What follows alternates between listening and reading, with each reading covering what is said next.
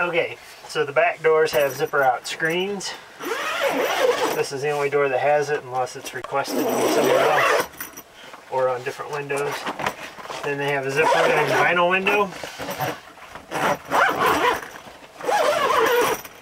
And then they have a zippered in shade, which as you can tell makes it pretty dark in here.